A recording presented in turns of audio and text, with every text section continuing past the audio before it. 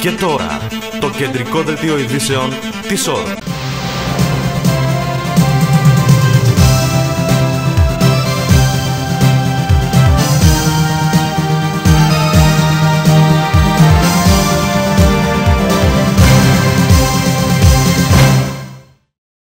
Χαίρετε κυρίες και κύριοι. Κάτι περισσότερο από δραματική χαρακτηρίζουν την κατάσταση που βιώνουν οι αγρότες και τη Ηλία, αφού μετά τα προβλήματα που επέφεραν τα ακραία καιρικά φαινόμενα που έπληξαν την περιοχή, οι ανατιμήσεις στην ενέργεια, τα καύσιμα αλλά και τα γεωργικά εφόδια τους βάζουν, όπως λένε, τα φόπλακα. Μάλιστα, σήμερα συναντήθηκαν με τους βουλευτές της Ηλία και τους έδεσαν όλους τους προβληματισμούς τους. Συνάντηση με τους βουλευτές της Ηλίας είχαν στα γραφεία του Αγροτικού Συνεταιρισμού Τραγανού οι αγρότες της περιοχής, προκειμένου να τους αναδείξουν τα προβλήματα που αντιμετωπίζουν τα τελευταία χρόνια και ιδιαίτερα φέτος με τις πλημμύρες και τον καταστροφικό παγετό, αλλά και με την ακρίβεια που είναι πια αντιμέτωπη. Αυξήσεις στα λιπάρματα, φυτοφάρμακα, στο ρεύμα, στα καύσιμα και επειδή εμείς δεν έχουμε ούτε βίλες με θερμόμενες πισίνες, ούτε βόλτες με τα πετρέλαια, καταλαβαίνετε τα κοστολόγια. Είχαμε το τετραήμερο των ισχυρών παγετών που τουλάχιστον για όλο τον νομό και την περιοχή μας είναι μια ολοκληρω... ολοκληρωτική καταστροφή. Με έναν αγώνα που έχουμε κάνει τόσα χρόνια θα βρεθούμε δηλαδή στον πάτο χωρίς να το πάρουμε χαμπάρι. Και είναι, είναι άδικο αυτό. Ειλικρινά είναι άδικο. Για εμά που είμαστε σε μια ηλικία και έχουμε κάνει έναν αγώνα μεγάλο και έχουμε φτάσει κάπου και κινδυνεύουμε λοιπόν μέσα σε μία καλλιεργητική περίοδο να καταστραφούν. Οι αγρότες κατέθεσαν τους προβληματισμούς τους και ζήτησαν από όλους τους βουλευτές και κυρίως από τους κυβερνώντες να βοηθήσουν την κατάσταση, μιας και οι συνθήκες σε συνδυασμό και με την αύξηση των τιμών έχει καταστήσει απαγορευτική την καλλιέργεια πλέον. Ένα είναι τα εφόδια. Δεύτερο πρόβλημα είναι το ρεύμα. Μα το ρεύμα είναι όλες οι καλλιέργειες τώρα είναι με μοντέρ γίνονται. Και το ή πετρέλαιο. Άρα και το πετρέλαιο και το ρεύμα και τα εφόδια είναι προβλήματα τα οποία υπάρχουν στον αγροτικό κόσμο.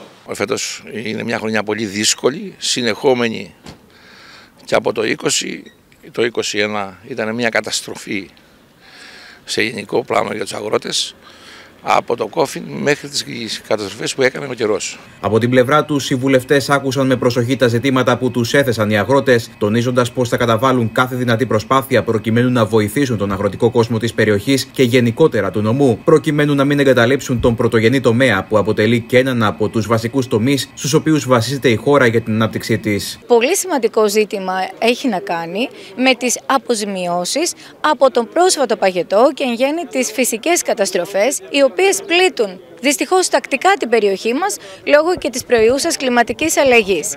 Ήδη ο ΕΛΓΑ αλλά και το σύστημα της κρατικής αρρωγής ανταποκρίνεται στους αγρότες. Το σίγουρο είναι ότι τα αγροτικά προϊόντα τα οποία έχουν πληγεί σημαντικά, δηλαδή έχει επέλθει μείωση τουλάχιστον 30% σε σχέση με το 2019, όλα οριζοντίως θα αποζημιωθούν. Είναι βέβαιο ότι και ο αγροτικός πληθυσμός έχει πληγεί από αυτή την ενεργειακή κρίση είναι βέβαιο ότι τα προβλήματα είναι πολλά. Η κυβέρνηση έχει λάβει μια σειρά από μέτρα τα οποία έχουν στόχο να ενισχύσουν το εισόδημα των αγροτών, να βοηθήσουν σε αυτές τις δύσκολες καταστάσεις.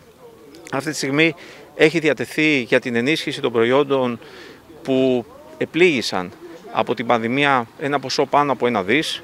Ήδη έχουν ανακοινωθεί μέτρα στήριξης για την ενίσχυση των αγροτών όπως η επιδότηση της ρήτρας αναπροσαρμογής που είναι ένα πολύ σημαντικό πρόβλημα στο αγροτικό τομέα και βέβαια η μείωση του ΦΠΑ σε μια σειρά από προϊόντα. Οι αγρότες βρίσκονται σε απόγνωση. Πολλοί αγρότες δεν έχουν εισόδημα και με τον κορονοϊό είχαν μεγάλη μείωση στη ζήτηση των προϊόντων τους και για το 2021 δεν υπάρχουν ενισχύσεις για αποζημιώσεις και ενισχύσεις για το ζήτημα του κορονοϊού.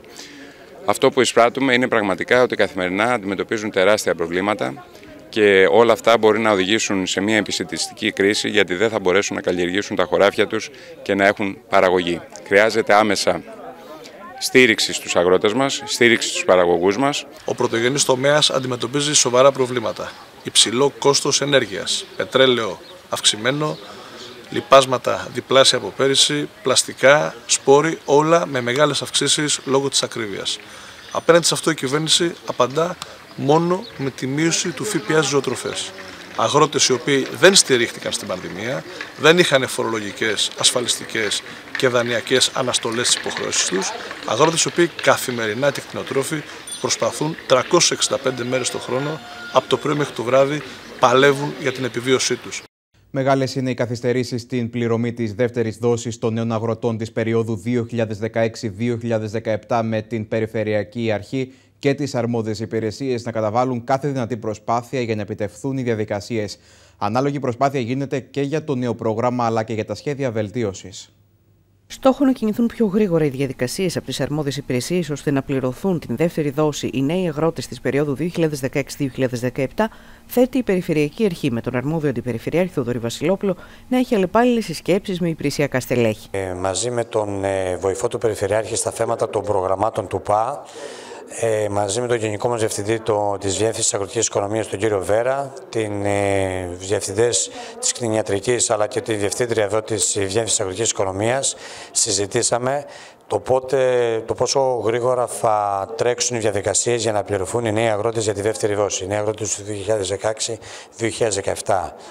Τα παιδιά έχουν δίκιο. Έχουν καταθέσει από πέρυσι τα χαρτιά τους. Όπως τόνισε ο κ. Βασιλόπουλος, υπάρχουν καθυστερήσεις, καθώς γεωπόνοι των αρμόδιων υπηρεσιών συμμετείχαν σε επιτροπές για πυρόπληκτους και πλημμυροπαθείς αγρότες. Ωστόσο, το επόμενο διάστημα αναμένεται να πληρωθεί το 60% των νέων αγροτών και ως τα μέσα Ιουνίου να έχει ολοκληρωθεί η διαδικασία για τους επιτυχώντε και να προχωρήσει ανάλογη για τους επιλαχώντε. Λόγω της έλλειψης του προσωπικού, αλλά και λόγω ότι οι γεωπόνοι μας συμμετείχαν στις επιτροπές με τα πυρόπληκτα και με τις πλημμύρες, έχουν γίνει κάποιες καθυστερήσεις.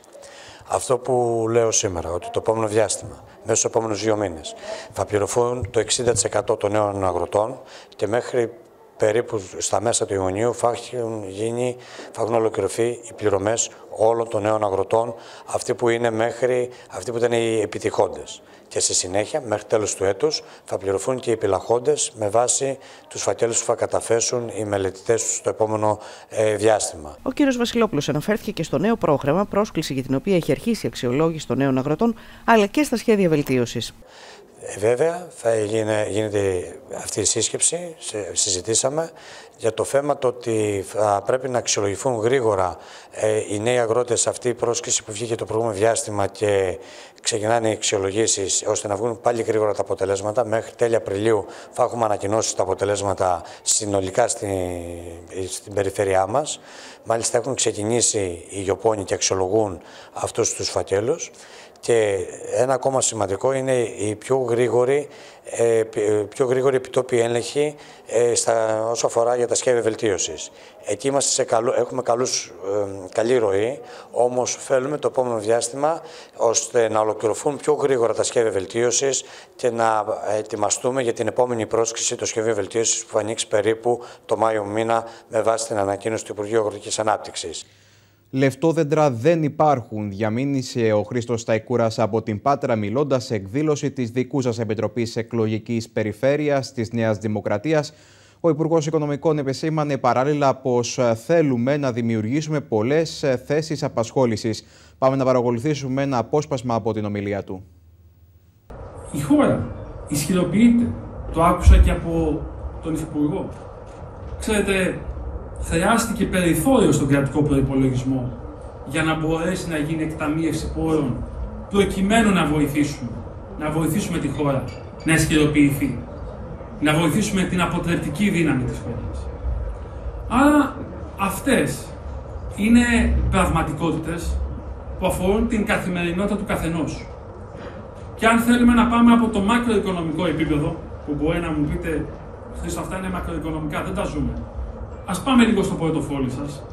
Εμείς δανειστήκαμε ως χώρα 8,2 δισεκατομμύρια ευρώ. Επιστρεπτέα προκαταβολή. Τα δανειστήκαμε για να τα δανείσουμε στην κοινωνία, στις επιχειρήσεις στην Πάτρα, στην εστίαση στην Πάτρα, έτσι ώστε αυτά να τα πάρουμε μελλοντικά πίσω. Από αυτά τα 8,2-8,3 δισεκατομμύρια ευρώ, προσδοκούμε να πάρουμε 2,3 δισεκατομμύρια ευρώ. Δηλαδή με λίγα λόγια, δανειστήκαμε, εμείς ως χώρα θα επιστρέψουμε αυτά που δανειστήκαμε, όμως εσείς δεν θα επιστρέψετε αυτά που δανειστήκατε. 6 δισεκατομμύρια ευρώ κουρεύτηκαν. Όταν ακούω συνεπώς κάποιους να λένε με ευκολία θα κουρέψετε το ιδιωτικό χρέος, η μείωση του ένθια που θα δείτε στα εκαθαριστικά σας από τον Απρίλιο και μετά, θα πληρώσετε συνολικά 920 εκατομμύρια ευρώ, περίπου 1 δισεκατομμύρια ευρώ λιγότερο έμφυα από αυτό που πληρώνατε μέχρι και το 2018. 1 δισεκατομμύριο ευρώ. Για πρώτη φορά έρχεται η πολιτεία και λέμε φέτος ότι θα κάνουμε διπλή αύξηση του κατώτατου μισθού. Μία κάναμε τον Ιανουάριο και μία θα κάνουμε τον Μάιο. Πιο γενναία το Μάιο. Πολύ πιο γενναία το Μάιο. Και αυτό θα βοηθήσει να αυξηθεί ο κατώτατος μισθός και να προσεγγίσει τον μέσο ευρωπαϊκό όρο. Τώρα στην ειδική συνεδρίαση του Περιφερειακού Συμβουλίου Πελοποννήσου που πραγματοποιήθηκε για το μέλλον του δρόμου Τρίπολη Βιτίνα Αρχαία Ολυμπία, συμμετείχε ο Δήμαρχος Αρχαίας Ολυμπίας Γιώργος Γεωργιόπουλος. Το Συμβούλιο έγινε με αφορμή τις πρόσφατες ανακοινώσεις για την παράλληλη χάραξη εναλλακτικής πρόσβασης μέσω Μεγαλόπολης, την οποία και εισηγήθηκε ο Περιφερειάρχη Πελοποννήσου Παναγιώτης Νίκας. Πρόκειται να πούμε για ένα κρίσιμο έργο για την ανάπτυξη της ορεινής ηλίας. Με μοναδικό θέμα στην ατζέντα το δρόμο Τρίπολη Βιτίνα Αρχαία Ολυμπία συνεδρίασε το Περιφερειακό Συμβούλιο Πελοποννήσου μετά και τις πρόσφατες ανακοινώσεις για παράλληλη χάραξη εναλλακτικής πρόσβασης μέσω Μεγαλόπολης. Όπως φάνηκε λοιπόν από τη συζήτηση, το πράγμα δεν είναι εύκολο. Είναι δύσκολο. Ε, σαν Ολυμπία, ε, σαν Ηλία, εμείς ψάχνουμε χρόνια τώρα, το ξέρετε κυρία Πεδούδα, ναι. μία διέξοδο, έναν εγκάρσιο δρόμο, έναν οριζόντιο δρόμο που θα συνδέει την ε, Δυτική Πελοπόννησο με την Ανατολική Πελοπόννησο. Χρόνια πολλά τώρα, ο δρόμος αυτός ε, μελετάτο στον άξονα ε, Ολυμπία Βιτίνα Τρίπολη. Μελέτες οι οποίες έχουν χρονίσει πάνω από 10, ίσως 12-13 χρόνια και δεν έχουν ακόμα ολοκληρωθεί, βρίσκονται όμως σε ένα αρκετά όριμο στάδιο. Η απόφαση του Συλλογικού Οργάνου της Περιφέρειας στο θέμα που έφεραν προς συζήτηση οι σύμβουλοι της μειοψηφίας μετά τις ανακοινώσεις της Περιφερειακής Αρχής για νέο οδικό άξονα από Μεγαλόπολη Αρχαία Ολυμπία ελήφθη κατά πλειοψηφία αφού η Περιφερειακή Αρχή δεν ψήφισε την εισήγηση των παρατάξεων της μειοψηφίας παρά το γεγονός ότι συμφώνησε πως η παράκαμψη λαγκαδιών αποτελεί προτεραιότητα. Ε, καθότι η Ευρωπαϊκή Ένωση προκειμένου να χρηματοδοτήσει από το ΕΣΠΑ αυτό το έργο ζητάει να έχει θετική ε, μελέτη κόστος ωφέλους και καθώς αυτό δεν υπάρχει από το ΕΣΠΑ δεν μπορεί να χρηματοδοτηθεί. Ναι. Έχουμε λοιπόν ένα δρόμο ο οποίος έχει μια οριμότητα σημαντική και πρέπει να το λάβουμε υπόψη και έχει δυσκολία στο χρηματοδοτικό της ε, σκέλος. Η απόφαση μεταξύ άλλων ανέφερε πως πρέπει να υπάρξει ένωση δυνάμεων για διεκδίκηση της ολοκλήρωσης του οδικού άξονα Τρίπολη Βιτίν Αρχαία Ολυμπία παράγκαψη λαγκαδιών αφού υπάρχει όριμη μελέτη. Έχει αναλάβει μια πρωτοβουλία ο κύριος Νίκας. Ξέρω ότι το παρακολουθεί από κοντά ε, και η Περιφέρεια Δυτικής Ελλάδος και ο κύριος ε, Φαρμάκης με τον οποίο έχουμε μιλήσει και βεβαίως συνεννοήθηκα πριν πάμε εκεί ε, όλοι οι φορείς πρέπει να ε, συνομιλήσουμε και οι βουλευτές μας και από την Αρκαδία και όχι μόνο από την Ηλία και την Αρκαδία αλλά και από την υπόλοιπη Πελοπόννησο γιατί ενδιαφέρει όλους αυτός ο άξονας. Μπαράς καταθέσεων τις επόμενες ημέρες για την υπόθεση θανάτου των τριών παιδιών της ίδιας οικογένειας στην Πάτρα. Αναμένεται μάλιστα να καταθέσουν στις αρχές 15 γιατροί που έχουν γνώση των ε, περιστατικών. Κλειδί μάλιστα θα αποτελέσουν και οι τοξιολογικέ εξετάσεις της μικρής Τζορτζίνας. Συνδεόμαστε με την ΕΣΑ Σύνταξης και το Γιάννη Τσουκαλά που έχει το ρεπορτάζ. Γιάννη. Κώστα, καλησπέρα. Πρόκειται ασφαλώς για μια υπόθεση που έχει συγκλονίσει το, το Πανελλήνιο για το θάνατο τριών κοριτσιών από την ίδια οικογένεια στην Πάτρα. Την έρευνα έχει αναλάβει αρχικά η εισαγγελία Πατρών, ωστόσο προέκυψαν ε, άλλες ενδείξεις και λόγω τη σοβαρότητας της κατάστασης ανέλαβε το τμήμα ανθρωποκτονιών της ασφάλειας Αττικής. Μάλιστα, οι καταθέσει 15 γιατρών και νοσηλευτών από 4 νοσοκομεία της Πάτρας και της Αθήνας, οι αναφορές 7 γιατροδικαστών αλλά και τα πορίσματα των δύο ιστολογικών και τοξικολογικών εξετάσεων, που αναμένεται να ολοκληρωθούν το επόμενο 20 ήμερο, θα ρίξουν φως στις συνθήκες των τριών θανάτων μέσα σε 32 μήνες. Τριών κοριτσιών ηλικίας 6 μηνών, 3,5 και 9 ετών της ίδιας οικογένειας από την Πάτρα σε μια υπόθεση που ερευνεί, όπως είπαμε, το τμήμα ανθρωποκτονιών της ασφάλεια Αττικής. Ενώ σύμφωνα με πληροφορίες δεν αποκλείεται να κληθούν για κατάθεση και οι γονείς. Να θυμίσουμε ότι οι ερευνητές της ασφάλειας ε, έχουν εστιάσει στο θάνατο της 9χρονη ε, Τζορτζίνας στο νοσοκομείο Πέδων Αγλαία Κυριακού, που είναι και ο τελευταίος θάνατος των ε, τριών κοριτσιών, που φαίνεται να σχετίζεται με ανακοπή καρδιάς, ωστόσο έχει ιδιόμορφες ομοιότητες με τους θανάτους των δύο αδελφών της. Κώστα. Μάλιστα, παρακολουθούμε τις εξελίξεις. Γιάννη, ευχαριστώ. Οι λοιμώξεις του κορονοϊού που συμβαίνουν σε πλήρως εμβολιασμένους είναι γενικά λιγότερο σοβαρές σε σχέση με εκείνες των ανεμβολίαστων, όμως αυτό δεν σημαίνει ότι είναι πάντα ακίνδυνε, καθώς μερικές φορές μπορεί να αυξήσουν τον κίνδυνο κατοπινών προβλημάτων υγείας ή και θανάτου. Μάλιστα και νέοι άνθρωποι νοσηλεύονται σοβαρά από τις επιπλοκές της COVID-19. Κανένας δεν είναι πλέον άτρωτος μπροστά στον κορονοϊό. Ο μέσος όρος ηλικίας των ατόμων που νοσούν έχει πέσει πολύ με τους ανεμβολίας τους να κινδυνεύουν περισσότερο να νοσηλευτούν σε μονάδα εντατικής θεραπείας. Ε, το 80 για να μην πω το 100% των ε, ασθενών οι οποίοι νοσηλεύονται αυτή τη στιγμή ε, είναι όλοι ανεμβολίαστοι. Οι ηλικίε δεν υπάρχουν με την έννοια ότι υπάρχουν κάποιες ηλικίες συγκεκριμένες διότι οι μεγάλες ηλικίες όντως έχουν ε, εξαντληθεί, έχουν κάνει πολύ ε, το εμβόλιο και υπάρχουν αυτή τη στιγμή περίπου γύρω στα άτομα από 50 χρονών μέχρι και 90 και 95 βλέπουμε οι οποίοι είναι ανεμβολίαστοι και δυστυχώς ε, η πορεία τους δεν πάει καθόλου καλά και δεν πάει καθόλου καλά διότι έχουν αργήσει να έρθουν στο νοσοκομείο για να τους περιθάλψουμε με αποτέλεσμα να έχουν νοσηλευτεί σε κλινική, στην κλινική του COVID ε, να μην υπάρχει περιθώριο βελτίωσης και αναγκαστικά να διασωληνώνονται, να έρχονται στη μονάδα μας και δυστυχώς ένα πολύ μεγάλο ποσοστό, για να μην πω ε, το μεγαλύτερο ποσοστό, ε, δεν τα καταφέρνει και δυστυχώς καταλήγει Γιατροί και νοσηλευτές καταβάλουν υπεράνθρωπες προσπάθειες λόγω της έλλειψης προσωπικού προκειμένου να καλυφθούν οι ανάγκες που έχει δημιουργήσει η πανδημία. Όσον αφορά ε, το ότι υπάρχει ανάγκη ε, προσωπικού, βεβαίως και υπάρχει πάντα ανάγκη προσωπικού και επαναλαμβάνω, η ανάγκη προσωπικού δεν είναι μόνο του ιατρικού προσωπικού, όπου έχουν γίνει πάρα πάρα πολλές προσλήψεις ε, τον τελευταίο χρόνο. Όπως, ε, όπως γνωρίζετε και εσείς, έχουν στελεχωθεί όλα τα νοσοκομεία της χώρας από γιατρούς, αλλά το πρόβλημα δεν είναι μόνο το ιατρικό, που βεβαίως ε, χρειαζόμαστε γιατρούς, χρειαζόμαστε γιατρούς έμπειρους, δηλαδή γιατρούς οι οποίοι να έχουν τη γνώση και την εμπειρία και την εξειδίκευση, ε, όχι γιατρούς οι οποίοι δεν έχουν εξειδίκευση, απλώς μόνο και μόνο για να γεμίσουμε το πρόγραμμα, θέλουμε γιατρούς οι οποίοι να είναι εξειδικευμένοι και να γνωρίζουν ε, ορισμένα, ε, ορισμένους, ε, ορισμένες πρακτικές όσον αφορά για τον COVID. Επίσης, εκείνο που χρειαζόμαστε πάρα πολύ είναι, ε, θα έλεγα, το νοσηλευτικό προσωπικό, γιατί να ξέρετε ότι παραπάνω από τους γιατρούς, εγώ σαν γιατρός, βάζω το νοσηλευτικό προσωπικό, γιατί χωρίς το νοσηλευτικό προσωπικό, το οποίο είναι, κάνει υπεράνθρωπες προσπάθειες όλα αυτά τα δύο χρόνια, ε, δεν θα μπορούσαμε να αντιμετωπίσουμε την πανδημία.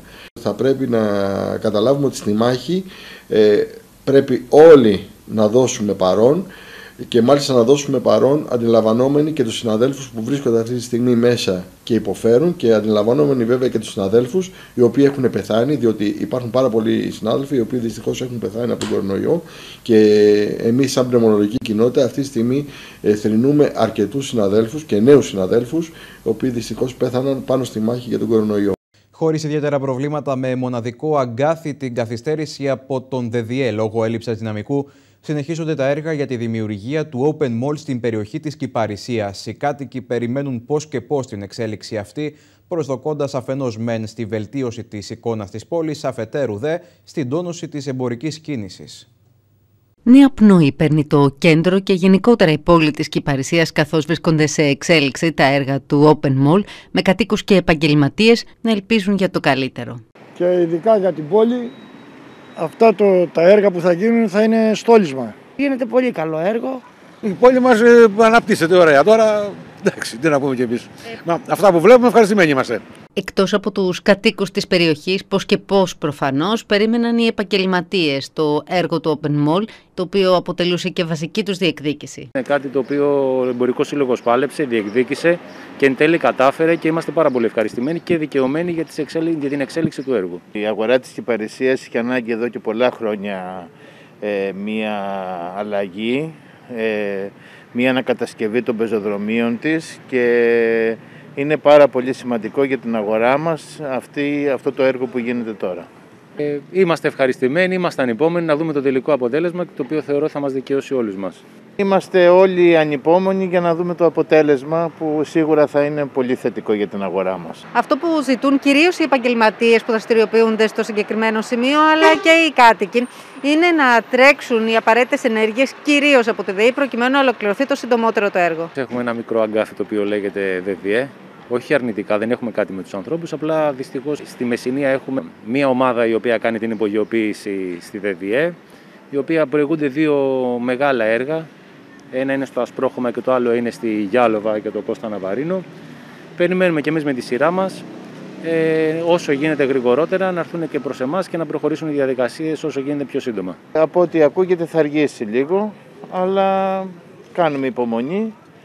Πιστεύουμε ότι θα γίνουν κάποιες άλλες εργασίες που θα διευκολύνουν την πρόσβαση στην αγορά μέχρι τότε από τον εργολάβο του έργου του Open Mall και πιστεύουμε ότι γρήγορα θα γίνουν και εκείνα τα έργα, η υπογειοποίηση δηλαδή των καλωδίων.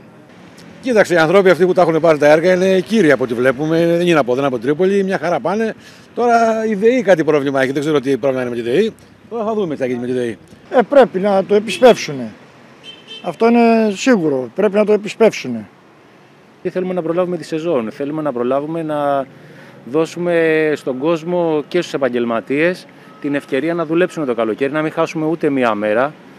Ε, θεωρώ ότι είναι όχι σημαντικό, θεωρώ ότι είναι ζωτική σημασίας πλέον. Για τρίτη συνεχόμενη χρονιά, η πόλη της Πάτρας θα γιορτάσει το καρναβάλι χωρίς παρελάσεις, όπως ανακοίνωσε σε συνέντευξη τύπου ο δήμαρχος της πόλης Κώστας Πελετίδης. Τα εντυπωσιακά άρματα, ωστόσο, κοσμούν ήδη την αχαϊκή πρωτεύουσα. Με το παιχνίδι του κρυμμένου θησαυρού ξεκίνησαν οι δράσεις του φετινού πατρινού καρναβαλιού. Η κυβέρνηση και η Επιτροπή Εμπειρογνωμόνων θα αποφασίσουν την Τετάρτη το ποιες εκδηλώσεις θα γίνουν συνολικά και πώς θα γίνουν, δήλωσε ο Δήμαρχος Πατρέων Κώστας Πελετίδη κατά τη διάρκεια συνέντευξης τύπου. Ο Δήμος, μάλιστα, θα στείλει στην κυβέρνηση λίστα με τις εκδηλώσεις που έχει προγραμματίσει για το πατρινό καρναβάλι, με πλήρες αναφορές για το σχεδιασμό και τα μέτρα που θα ληφθούν για την προστασία από την πανδημία. Επί αυτόν, ο Δήμος αναμένει επίσημη απάντηση για το τι τελικά θα επιτρέψει η κυβέρνηση να πραγματοποιηθεί. Δυστυχώς η πανδημία μας στερεί την ε, δυνατότητα να έχουμε το καρναβάλι όπως το θέλαμε. Ε, πορευόμαστε πάλι όπως ε, και την περσινή χρονιά και το τελευταίο τριήμερο που είχαμε το 2020. Οι εκδηλώσεις επομένως που προγραμματίζει η πόλη μας και που τόση αγωνία έχουμε όλη η πόλη και ο επαγγελματικός χώρος είναι ότι θα είναι, οι εκδηλώσεις θα είναι πάλι διαφορετικές. Δεν θα γίνουν δηλαδή οι παρελάσεις. Ε, ως εκ τούτου αυτό το οποίο πρέπει να κρατήσουμε είναι ότι να έχουμε τουλάχιστον το μάτι μας προς το μέλλον, να προετοιμάσουμε την επόμενη χρονιά που πιστεύουμε ότι θα αφήσουμε πίσω μας την πανδημία και να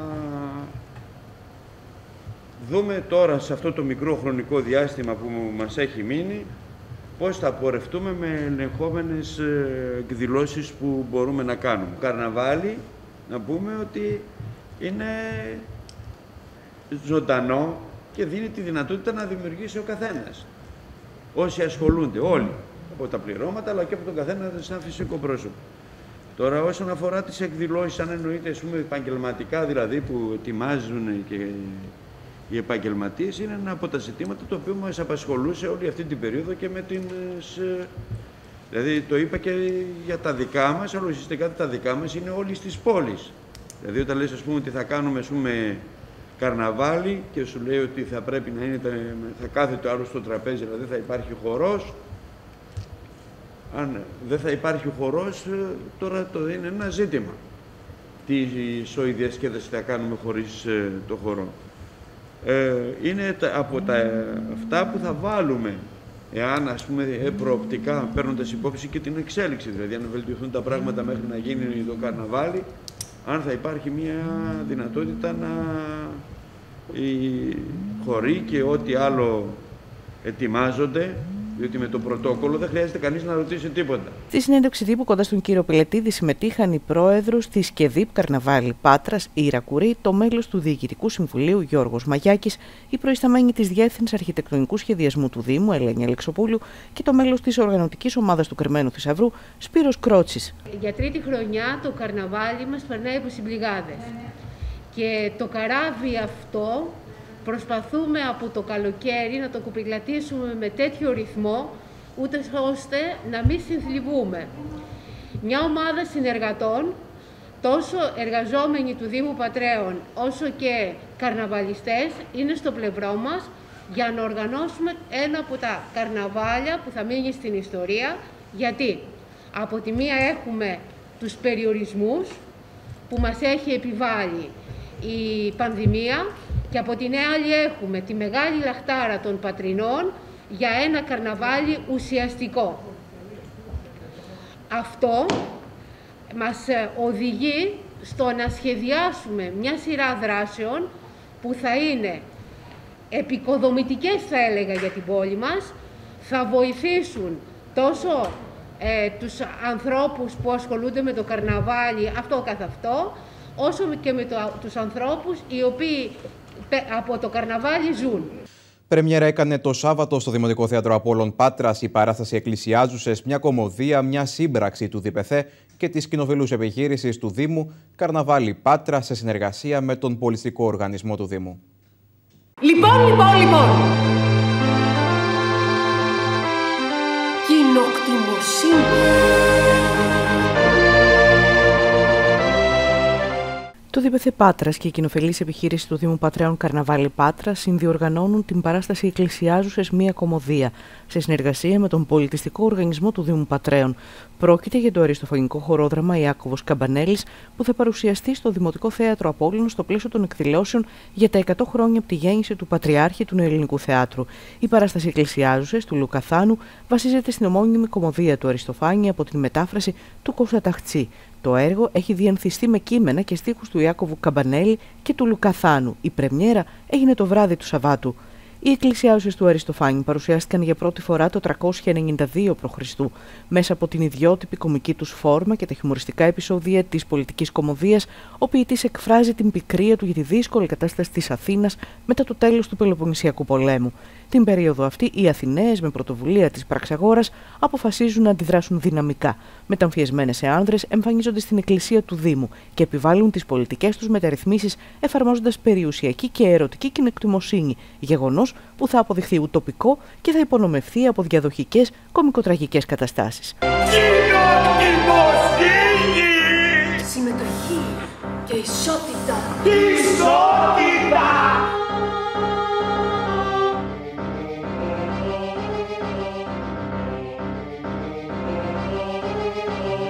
Στη διάρκεια συνέντευξης τύπου υπογραμμίστηκε ιδιαίτερα η συνεργασία στον χώρο του πολιτισμού. Η ζωή είναι χαρά και ως εκ τούτου πρέπει να την απολαύσεις και ο Δήμος φροντίζει να ενεργοποιήσει όλες του τις δυνάμεις.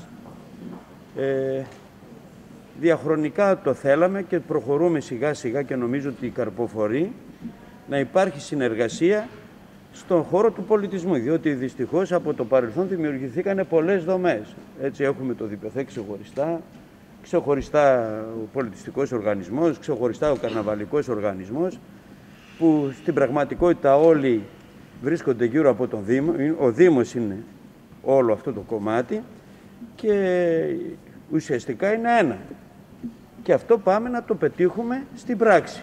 Και νομίζω ένα από αυτά είναι αυτό το οποίο γίνεται τώρα και το οποίο πιστεύουμε ότι θα συνεχιστεί. Ο Αριστοφάνης λοιπόν με τις εκκλησιάζωσες είναι εδώ και καταφέρνει να μας δώσει το μεγάλο μήνυμα της ισότητας και της ανάδειξης του ρόλου της γυναίκας, του σημαντικού ρόλου της γυναίκας, που μπορώ να πω, ενώ ο Αριστοφάνης το ανάδειξε πριν από 2.500 χρόνια, ίσως εμείς δεν μπορέσαμε ακόμη να φτάσουμε και να δώσουμε τον πραγματικό ρόλο που αξίζει να έχει η γυναίκα. Οραματιζόμαστε και σπάμε τους στίχους, αυτό κάνει το θέατρο, σπάει τους στίχους προς το χρόνο και στο χώρο και σε ταξιδεύει.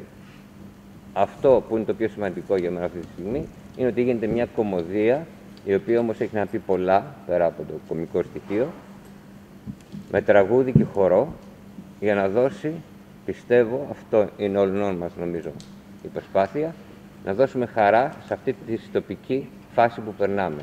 Η φιλοσοφία μας είναι όλες οι πολιτιστικές δομές, ανεξάρτητα αν είναι κατακαιρματισμένες στο επίπεδο των οργανισμών, πρέπει να συνεργάζονται και πρέπει να δίνουν πράγματα στην πόλη μας.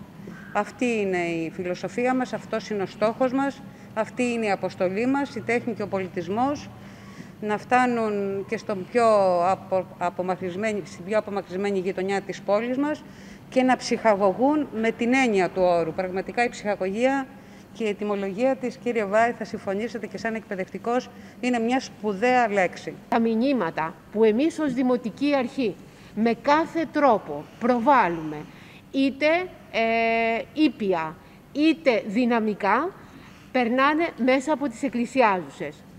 Καρναβάλι λοιπόν και Αριστοφάνης ταυτίζονται και ταυτίζονται με έναν τρόπο διαχρονικό αλλά και επίκαιρο.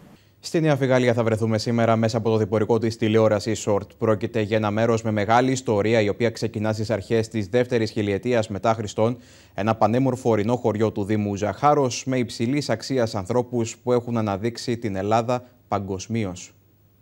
Η Νέα Φιγαλία που ανήκει στο Δήμο Ζαχάρος Φιγαλίας είναι κτισμένη αμφιθεατρικά σε 7 κατάφυτους λόφους στις παρυφές του όρους Μίνθη με μέσο υψόμετρο 480 μέτρα, ενώ έχει υπέροχη θέα προς το Ιόνιο Πέλαγος.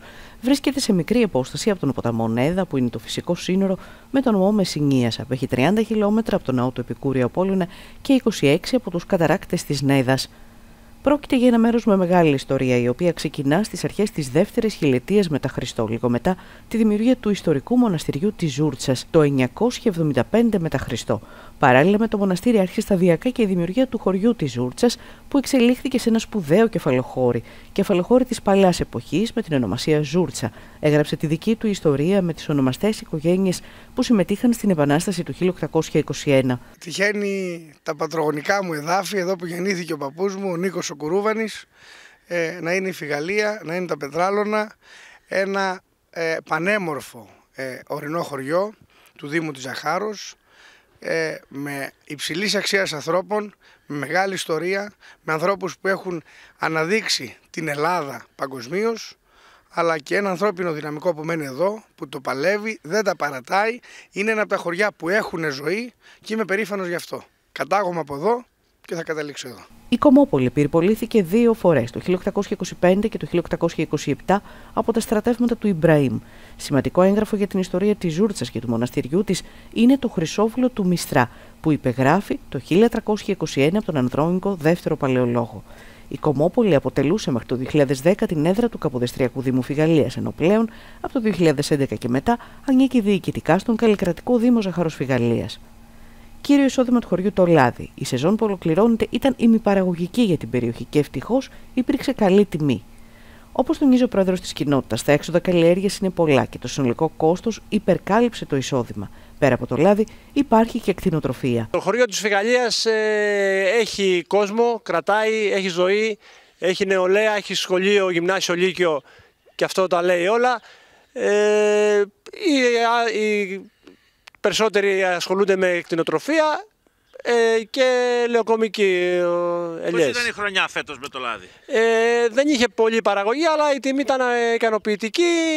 Πιστεύω ο κόσμος. Εκάλυψε την απώλεια Εκάλυψε την απώλεια, εκάλυψε την απώλεια και με αυτό κινείται όλη τη χρονιά ε, ο κόσμος. Ε, οι μόνιμοι τώρα είμαστε γύρω στους 800 και η απογραφή εκεί περίπου πήγε.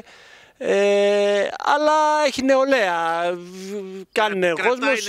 Κρατάει νεολαία και κινείται και στο. Και φαντάζομαι το αγορά. Πάσχα και το καλοκαίρι θα σας Σίγουρα, σίγουρα και Πάσχα και τριήμερα και καλοκαίρι ε, έχει πιο πολύ κόσμο. Εδώ αυτή η Παναγία λέγεται Βογάλη, Βογάλης, Παναγία τη Βογάλης. Και ήταν εδώ πέρα Τούρκοι. Όπω μας είχε πει μια δασκάλα, κάτω ήταν οι Έλληνες και απάνω είσατε λέει οι, οι, οι Τούρκοι. Ιστορική εκκλησία, έτσι. Ιστορική ήταν καλογέρι εδώ πέρα. Ναι, εδώ πέρα είναι το μνημείο. Το, το, το κελί τους που λέμε. Μάλιστα, Και εκεί κάτω, εδώ πέρα, έχουν γινό που λέμε εμείς. Πηγαίνανε και βάζανε στα φίλια και τα πατάκανε. Με, προσωπικά εμένα με τραβήξαν τα βιώματά μου. Εδώ είναι η ζωή μου, εδώ είναι οι φίλοι μου, οι γνωστοί μου.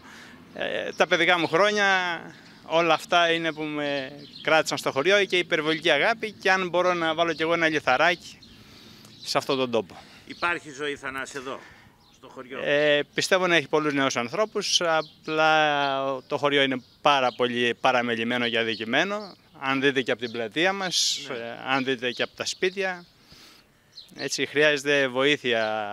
Έχετε τις δυνατότητες, πρέπει όμως οι- οι άνθρωποι που ενδιαφέρονται για το χωριό μαζί με το Δήμο να κάτσουν κάτω και να σχεδιάσουν ένα πλάνο, ένα πρόγραμμα το οποίο να ακολουθηθεί τα επόμενα χρόνια και να διορθώνεται όπου χρειάζεται προκειμένου να φέρουμε ξένους στο χωριό. Το πρόβλημα είναι αυτό και το χωριό πρέπει να λιγάκι να, να ανοιχτεί στις άλλες κοινωνίες. Θα μπορούσε εδώ η Φιγαλία να γίνει ένας τουριστικός πόλος έλξης. Όλη η Ελλάδα θα μπορούσε, όχι μόνο η Φιγαλία που εδώ έχουμε τον Επικούριο Απόλλωνα και έχουμε ιστορία που ο Επικούριος Απόλλωνας έγινε πριν από την Ακρόπολη. Μάλιστα. Εντάξει, μόνο που δεν είναι μαρμάρινος είναι από πέτρα. Έχουμε, έχει ιστορία αυτός ο τόπος. Ο πύργος ήταν απικία της Φιγαλίας, αν τα ξέρετε. ναι, ούτε ζαχάρο υπήρχε ούτε τίποτα. Έχει ιστορία εδώ. Μεγάλη ιστορία. Μεγάλη ιστορία. Αξίζει ένας επισκέπτης να επισκεφθεί εδώ τη Φιγαλία. Και βέβαια Για αξίζει. πρώτη φορά. Πολύ, Πολύ έτσι. πολύ, πάρα πολύ. Πολύ. Βέβαια. Μάλιστα. Έχει ωραία πράγματα να δει, έχει αυτά, έχουμε φιλόξενος κόσμος. Η Φιγαλία είναι το καμάρι μας. Το καμάρι μας. Εννοείται. Το χωριό μας ακόμα καλύτερα. Και για να είμαστε εδώ και να μένουμε εδώ, αυτό σημαίνει πολλά. Έχουμε αρκετές εκκλησίες και είμαστε περήφανοι γι' αυτά. Πολλές εκκλησίες στη Φιγαλία. Άρα θα, θα μπορούσε ο επισκέπτης... Εννοείται, εννοείται. Άμα δεν περάσει από τη Φιγαλία, δεν έχει περάσει πουθενά. Το χωριό είναι πάρα πολύ καλό, φιλόξενο, δεν μπορούμε να πούμε. Έχει διάφορα πράγματα εδώ να έρθει ένας επισκέπτης. Ε, θέλουμε μια οργάνωση καλύτερη, σαν συλλόγοι, όλοι να συνεννοηθούν, που είναι κάπως δύσκολο να γίνει αυτό το πράγμα από όλους. Τέλος πάντων προσπαθούμε όμως. Κάτι να γίνει το καλύτερο. Καλώς, ευχαριστούμε πολύ. Ε, εγώ είμαι πάρα πολύ ευχαριστημένη από το καλά, χωριό να μου. είστε καλά. Πέστε πάλι το Και όνομά όποιος σας. έρχεται δεν θα είναι να φύγει μετά.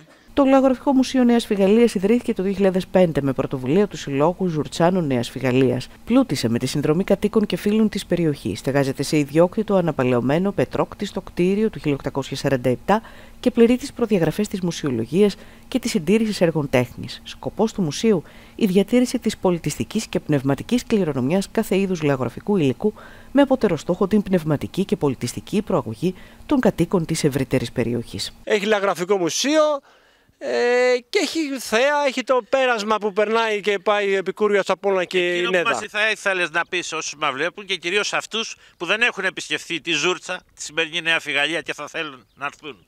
ε, να έρθουν, ε, θα φύγουν σίγουρα με τις καλύτερες εντυπώσεις. Ε, συνδυάζει όπως είπαμε πολλά ε, και το πέρασμα είπαμε και στην Νέδα Καταράχτες, ε, η θάλασσα τη βλέπουμε από εδώ, έχει πολύ καλό κλίμα. Και φιλόξενους ανθρώπους. θα Φιλόξενους, πω. πάντα, Πρόσθετα πάντα, πάρα πολύ φιλόξενους ανθρώπους ε, ε, με το καλύτερο το χαμόγελο και με τα καλύτερα λόγια. Όποιος Θα ολοκληρώσουμε την ενημέρωσή σας με μια ματιά στη διεθνή επικαιρότητα. Οι Ισπανικές αρχές φαγίασαν πάνω από 130.000 κότες σε φάρμα κοντά στο Βαγιαδολίδ, όπου εντοπίστηκαν κρούσματα γρήπης των πτηνών. Επέβαλαν επίσης ζώνη αποκλεισμού σε ακτίνα 10 χιλιόμετρων γύρω από τη φάρμα. Υπενθυμίζουν όμως ότι η πιθανότητα μετάδοσης στον άνθρωπο είναι πάρα πολύ μικρή. Τους τελευταίους μήνες κρούσματα γρήπης των πτηνών έχουν επίσης εντοπιστεί σε Γαλλία, Γερμανία, Βρετανία, Ολλανδία και Σερβία.